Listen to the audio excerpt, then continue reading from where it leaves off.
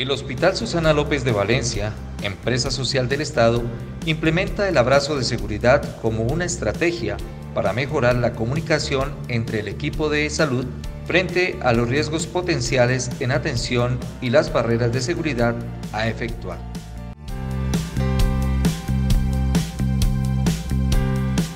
¿Cómo y cuándo se genera la estrategia abrazo de seguridad? Generando un espacio en el que se informan los riesgos clínicos y las barreras de seguridad a implementar.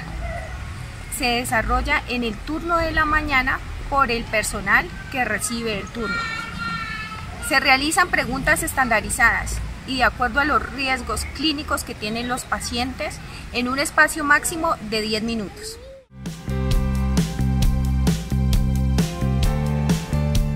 El abrazo de seguridad es liderado por el personal médico general, quien recibe turno.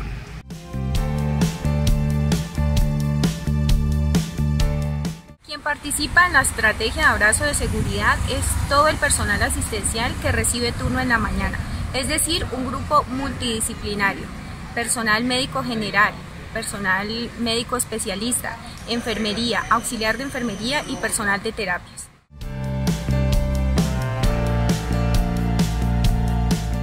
Algunos de los beneficios de aplicar la estrategia abrazo de seguridad es que disminuye la probabilidad de participar en prácticas inseguras que nos llevan a posibles eventos adversos.